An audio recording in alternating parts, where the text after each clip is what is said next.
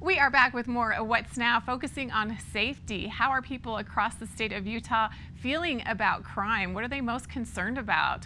Well, a survey was just released recently, and Rebecca Edwards has all the data from that. Let's take a look. How safe do you feel in your state? Well, the SafeWise 2021 State of Safety Survey on Safety Perceptions of all 50 states is out, and Rebecca Edwards SafeWise security expert is here to tell us all about the new findings. Thanks, Rebecca, for being here. Thank you for having me. I'm excited to dig into the data. So tell me more about what the SafeWise State of Safety Report is. Well, SafeWise is a website where we provide tools and information to help people live a safer life at home and in their community. And part of that includes us watching crime trends and crime rates um, and to see how that impacts how safe or unsafe people feel. So the state of safety is actually a study where we talk to people and ask them that very question. Do you feel safe? Are you worried about crime? What are people most worried about right here in our state?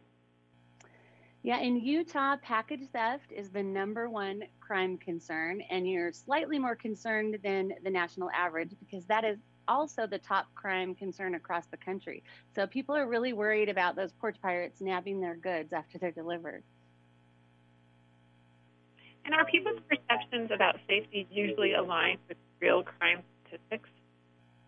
You know, typically they're not. Typically, people tend to feel less safe than the crime statistics would indicate that they really are. But Utah is more on the nose. Only 36% of Utahns told us that they're highly concerned about their safety every single day. And on the other side of that, 66% said they think the Beehive State is a really safe place to call home. And the good news is that crime rates are below national averages in Utah. So Utah is getting it more correct than almost any other state. That is good news. How does violent crime, gun violence, and property crime figure into your report? Well, every year we've asked people how worried they are about violent crimes and property crimes because it's really easy to compare those fears to the actual crime stats. But people have been volunteering to us that they're worried about stuff like mass shootings. And so we've added a whole gun violence component to our report so we can track how that's impacting people's overall sense of safety and then also look at statistics to see if our level of increasing worry about that specific thing is warranted or not. And what keeps people up at night? What do they worry about? People are typically, what we've seen this year, the biggest thing that was the most surprising to me is people told us they're actually hearing um, gunshots. Like people say, I hear this outside in my neighborhood. Um, so that's something that was really startling. And so that kind of goes into why people are worried about gun violence. Other big things that are top of mind right now include civil unrest, politics, these bigger things that are happening out in the world that we have less control over. That's really impacting people's overall sense of safety and uh, their level of anxiety.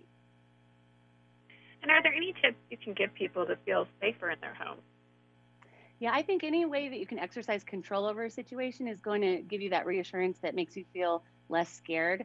So lock your doors and windows. Everybody has the option to do that. You don't need to buy anything to make that happen. And it's surprising how many burglars will just walk in the front door. I also think it's important, you know, to limit how much doom scrolling we're doing. Um, if we're reading things that cause anxiety, we're going to be much more concerned and worried. And so I think taking those steps to do things that you can control are really important and be proactive. If you want to take it all the way, add a security camera or a security system. And where can we get more information? Yeah, people can go to safewise.com and download the entire state of safety report and can also find out um, what the safest cities in Utah are as well.